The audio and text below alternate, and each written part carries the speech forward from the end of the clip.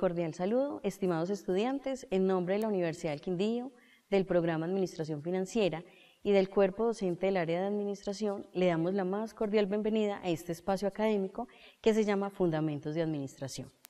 Este espacio está compuesto por cuatro unidades, las cuales desarrollamos diferentes temas. Por ejemplo, en la primera unidad vamos a desarrollar el tema de la administración y la empresa.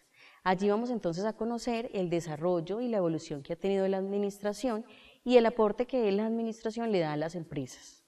También en la segunda entonces unidad de aprendizaje vamos a desarrollar temas como el enfoque clásico de la administración y vamos a mirar autores como Taylor, como Fayol, que a través de sus teorías le han hecho aportes significativos al desarrollo administrativo como tal a las empresas.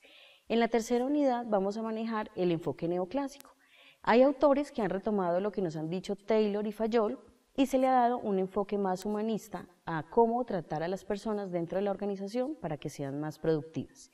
Y en la última unidad de aprendizaje vamos a ver las teorías contemporáneas, lo que hoy en día se está aplicando en las organizaciones, que han servido también esas teorías anteriores y cómo hoy está el desarrollo de estas teorías en las organizaciones modernas.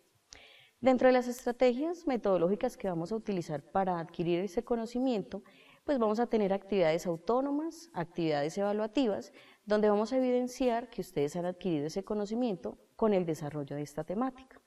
Asimismo, vamos a tener encuentros sincrónicos como estrategia también eh, metodológica, donde vamos a tener ese encuentro a través de la web, donde se van a desarrollar temas específicos, se van a aclarar dudas y va a haber esa interacción aparte de los encuentros presenciales. Allí el docente em, virtual les va a dar como todas las asesorías, todo lo que ustedes requieren para hacer mejor la comprensión de los temas vistos. Por último, eh, por último queremos desearles muchos éxitos, darles eh, la más completa, entonces, bienvenida y que se sientan a gusto en esta nueva experiencia académica con el espacio académico Fundamentos de Administración. Muchas gracias y muchos éxitos.